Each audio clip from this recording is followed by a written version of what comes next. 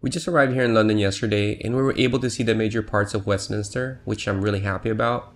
You see, before we came here, I broke up parts and section of the city of London for us to explore.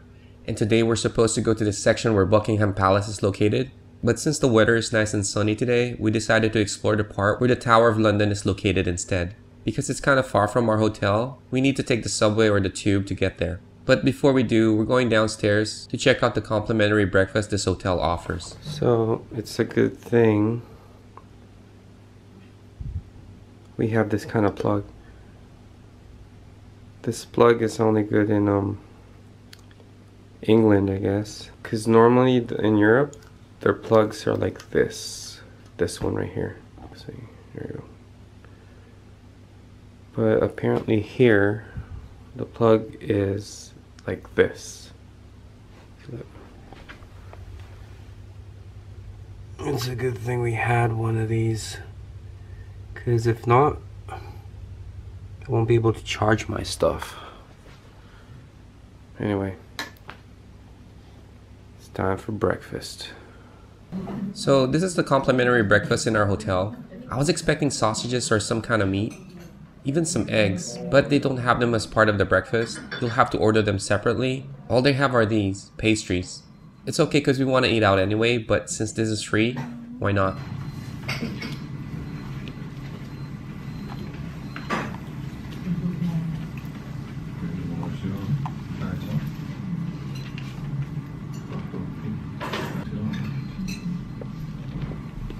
More toasted. I think they're different. Sounds like a little donut. Mmm. This one's good. After breakfast, we headed to the nearest subway to catch the train heading to Blackfriars Station, which is located close to the first place we're going to explore, St. Paul's Cathedral. So the first thing we needed to do before we go through that gate is get our tickets.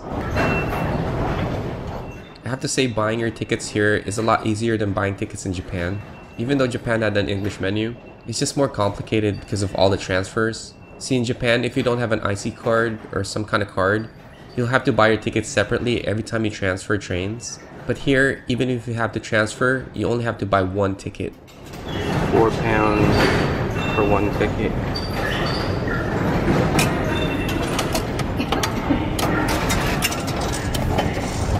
Ah, pretty cool. That's your ticket?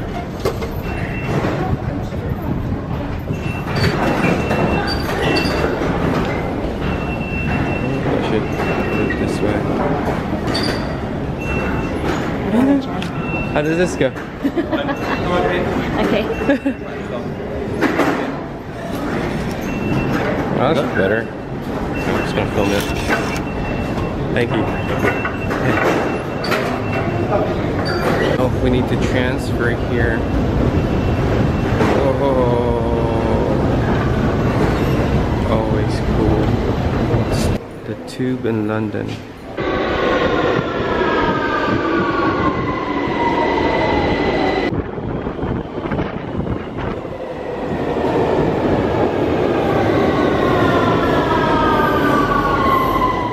After we take this train, which I found out later that it's almost always full, we had to take another train to get to Blackfriars Station. If you're wondering how to navigate the subways here, it's really not that hard. The map or the routes are pretty clear. I think finding the right platform is a bit more challenging than anything. Boarding, please allow the passengers off the train before boarding. Gonna transfer. Now that we made it here in Blackfriars Station, all I needed to do is to navigate our way. You know, I still see people using an actual map, but in this day, all you need is a cell phone and the right app. I'm using this app that I've used so much in my travels. Without it, I'll just get lost. It's really amazing. You can plot out your route and it gives you access to all the popular landmarks, including restaurants and transportations. Pretty much everything. Just a few yards from the station is the St. Paul's Cathedral. The St. Paul's Cathedral is one of London's tallest buildings and serves as the cathedral of the Bishop of London. It's also a funeral site of important political figures like Margaret Thatcher and Winston Churchill. I believe Princess Diana is also buried here. Anyway, we wanted to go inside but the entry fee is way too expensive. It's about 22 pounds, around 30 in US dollars. It's priced that way maybe because it's one of the most famous and recognizable sites in London.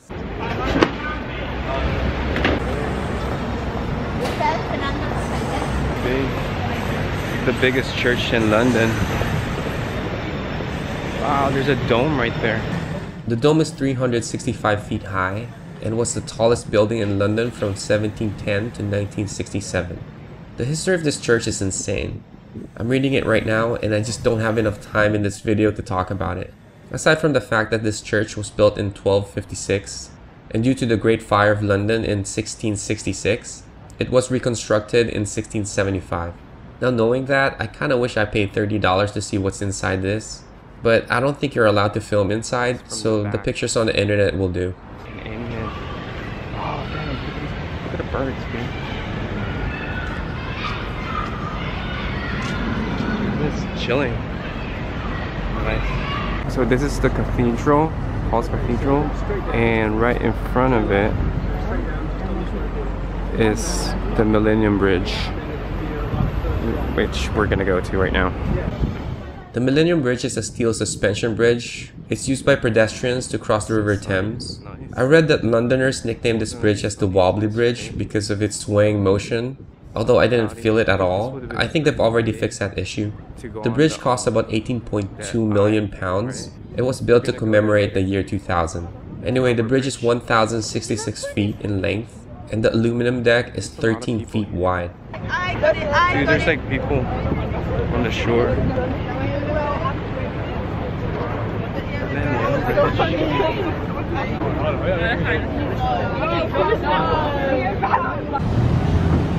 It's a waste of time though. Huh? It's a waste of time to ride that.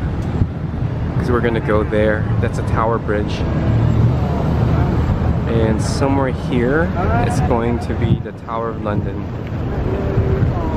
And that person's looking for shells or something. I Can't believe it's sunny here. I thought it's gonna be really gloomy all week.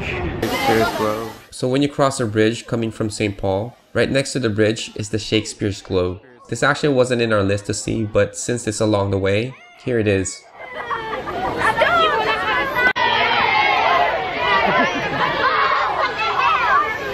Trying to learn about Shakespeare. It's an indoor theater where they perform famous plays, I'm assuming. If I read this correctly, the theater was first built in 1599 and was later restored as the Globe in 1997. This is where we're going to go to and see if we can have lunch here at this place. It's called the Anchor. This is called the Anchor. It's a restaurant or pub suggested to me by the app I'm using. It's said that the Anchor started as a brewery in 1616 and was rebuilt 1676 because of the Great Fire. There are a lot of different information when they really established or rebuilt the pub, but what really matters is that we couldn't go in because it was closed. So if you've been here and tried the food, just leave me a comment and let me know. Well, I guess we're not gonna eat here today. It didn't matter if the anchor was closed, we planned to hit two food markets anyway. And on the way to the first market, we stopped at this thing called the Golden Hinde. I think that's the ship.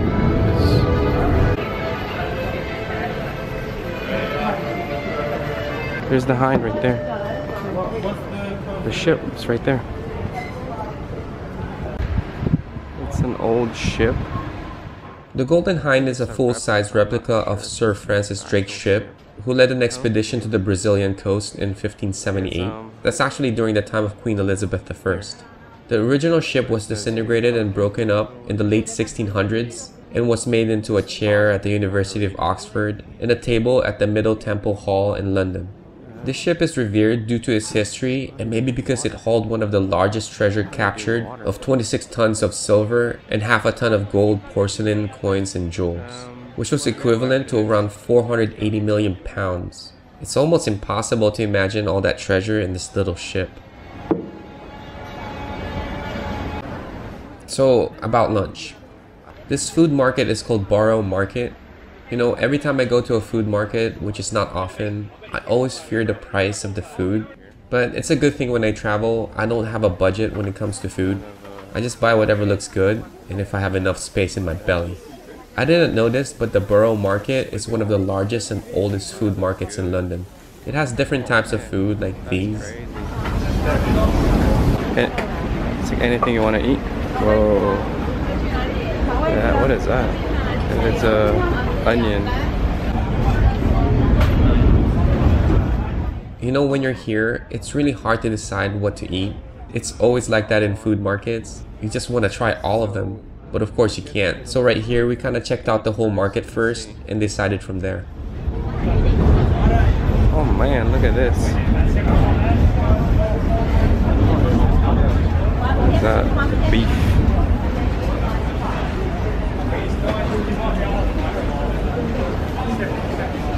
Smells like um. These are meat pies which are popular in England, but it may be difficult to eat because there aren't any chairs or tables here. You have to stand and eat the food on the spot. So I had to pass on this one.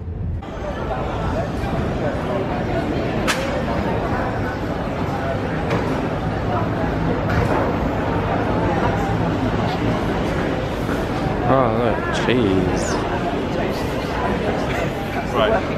Yeah, that's good. I like it. After going through the whole market, which was not that big, I decided to get this. Sandwich. Oh, can you get it for me? This is called the big sausage. It has um, onions, grilled onions. I pretty much got the works. I got everything. It has like three sausages in there. Yep.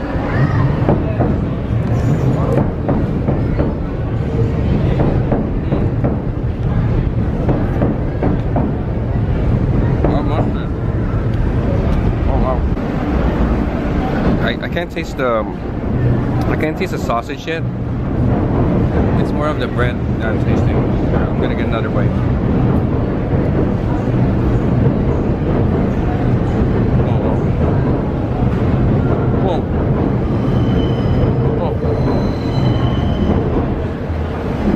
Oh. Oh, a good bite. Mmm. It's good. Tastes like England.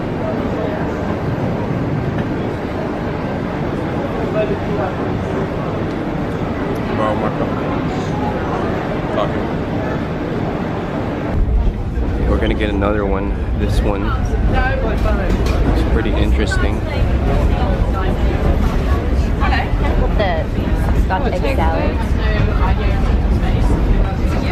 to me, it's like super like says something, but like looks off in the distance. So I don't really know if he's talking to me or not. Hello, interesting? Oh, yes. Like talking players, like always with. Yeah. And then he tells you about how he used to be a bodybuilder, like and then he's famous. That's pretty good. Would you like some black pepper and the egg? Um, yes. What kind of dish is this? Is this Scottish dish? No, that's a traditional English. Oh, Oh, is it? perfect. Scotch is the fact that you're wrapping meat around the egg. That's what makes So it it's confusing. Oh, I see. Okay. That's perfect. So that's five pound fifty. Thank you very much. Thank you. This is called a Scotch egg salad. It was claimed to be invented in the 19th century. It's a common picnic food in England. Originally, the egg is cooked over an open flame, but I think this one is probably boiled. You know what's also interesting is that the egg has this dark orange color. It's clearly not a chicken egg, but most likely quail. The meat around the egg is sausage and it's coated with fried breadcrumbs. She said it's an English English food. Just use my hands here?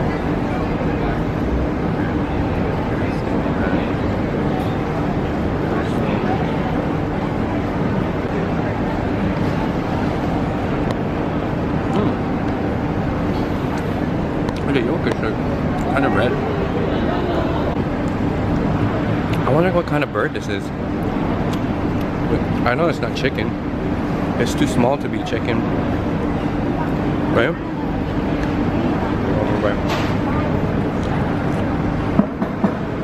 The meat, I can't really taste the meat. Which is supposed to be pork. That's what it says. I, I can't really taste the meat.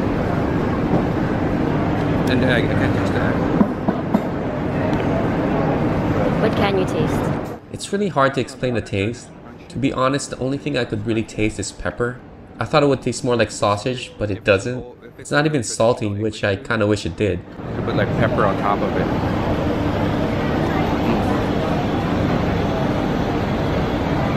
Mm.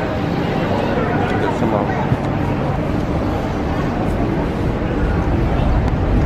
with my wooden fork. The dressing is kind of weird too.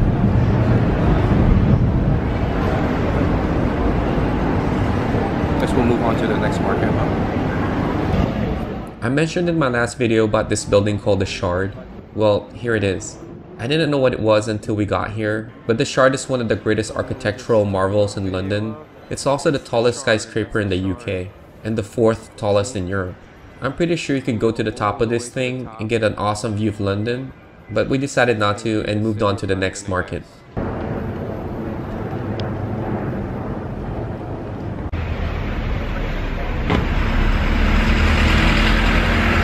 Yeah, I think this is the place, but What? it's closed during the day, I guess. Um, not really sure. Malt Maltby Market is supposed to be right here. I don't see a market anywhere. I just found out that this market, the Maltby Street Market, only opens on the weekends. So we'll head to our next destination, huh? So our next destination is the Tower Bridge, another one of London's icons, and also one of the best known bridges in the world. This bridge was constructed in 1886, which took 8 years to finish. As you can see, the bridge is accessible by both vehicles and pedestrians. It also has two bridge towers connected together at the upper level by two walkways. I read that those walkways had a bad reputation before due to the prostitutes and pickpockets. It used to be an open air walkway and were only accessible by stairs. So they closed it in 1910 and was only reopened in 1982. It would have been awesome to see the bridge open up to let the big boats pass, but it didn't happen today, so we decided to take the tour instead. Tickets to the engine room. What the hell? Really? What the? Oh, to the tower. Bridge.